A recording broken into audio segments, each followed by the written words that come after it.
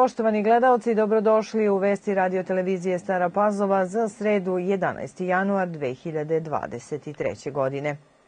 Predsednik Srbije Aleksandar Vučić izjavio je danas da će do 20. januara, odnosno do Svetog Jovana, primiti zaslovnike međunarodne zajednice za dijalog Beograda i Prištine, odnosno, kako je rekao, veliku četvorku.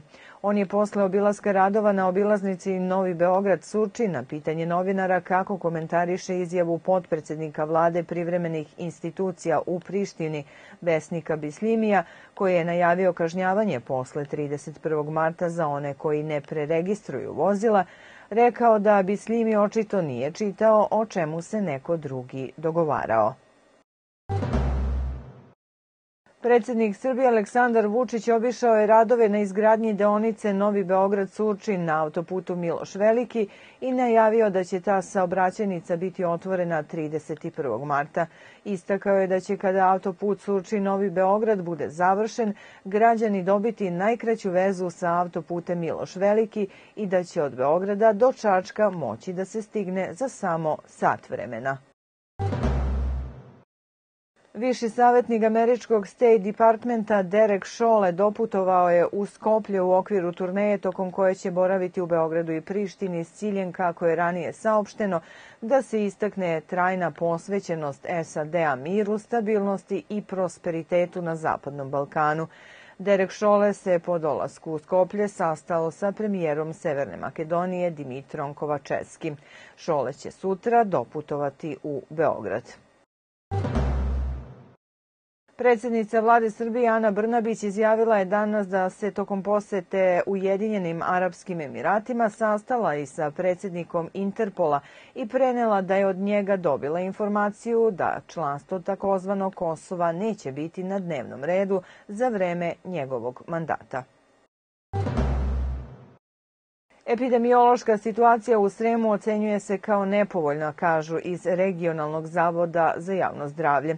Umereno pogoršanje epidemiološke situacije je za očekivati posle praznika.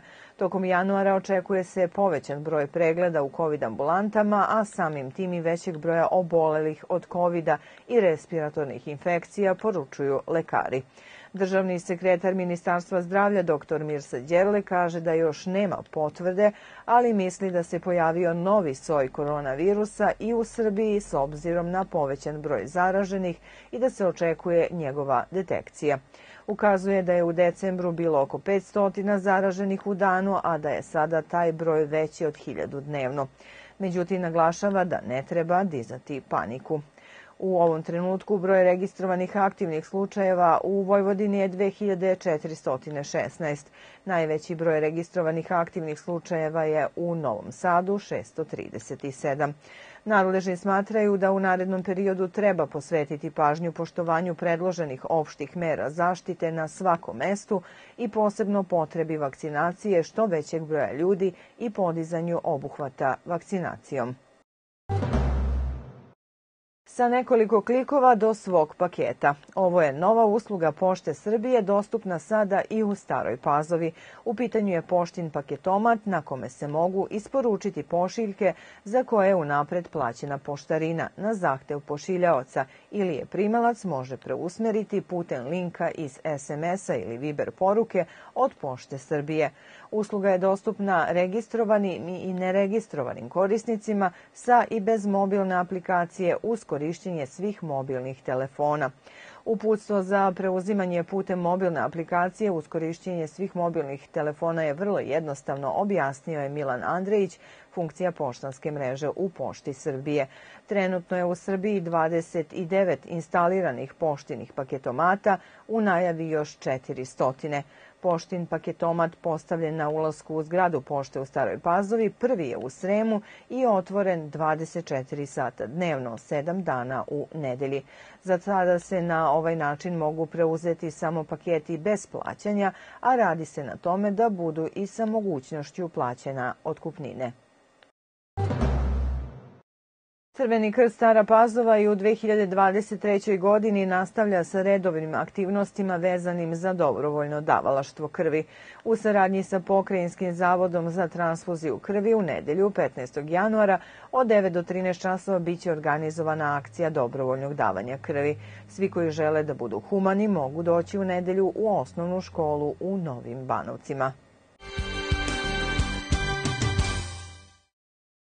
Dvostruki uzastopni najkorisniji MVP igrač NBA lige Nikola Jokić i kapitan ženskog seniorskog tima Tina Krajišnik proglašeni su za najbolje košarkaše Srbije u 2022. godini u izboru Košarkaškog saveza Srbije. Tradicionalno, Košarkaški savez Srbije bira najbolje glasovima novinara i urednika najuglednijih srpskih medija. Jokić je treći put u karijeri dobio priznanje nakon 2018. i 2021. godine, dok je Krajišnik prvi put najbolja.